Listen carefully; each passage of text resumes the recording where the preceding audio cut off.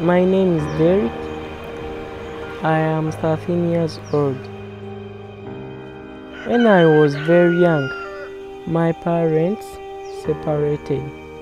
I live with my father and my grandparents, lastly, with my mother. When I live with my mother, we could not have enough food, enough school fees, and the house was very bad.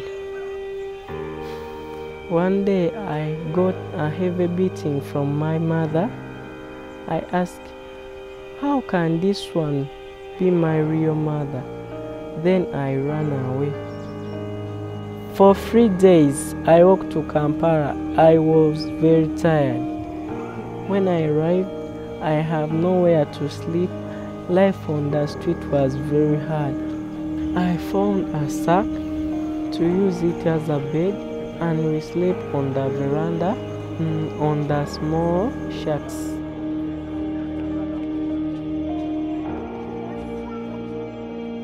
After a while, some people let me to sleep in a small cement.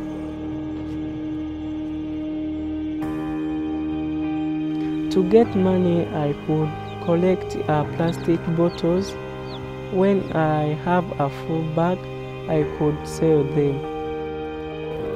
When I get money, I could buy chapatis.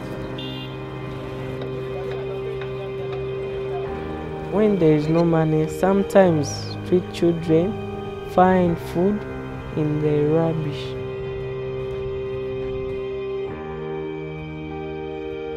One day I went to a program for street children. I met Abaana social worker. Some of my friends already attended the program. One day they were chosen to go to New Life Homes. I was very happy for them and I hope one day I will be chosen. It was not long until my dreams came true. After three years on the streets, I am now at the New Life Homes.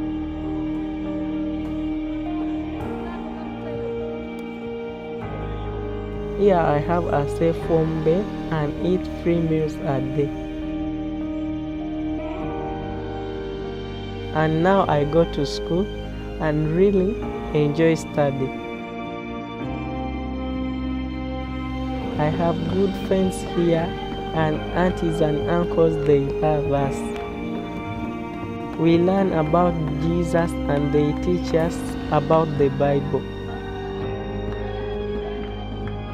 In future, I like to be a social worker to help more children off the street.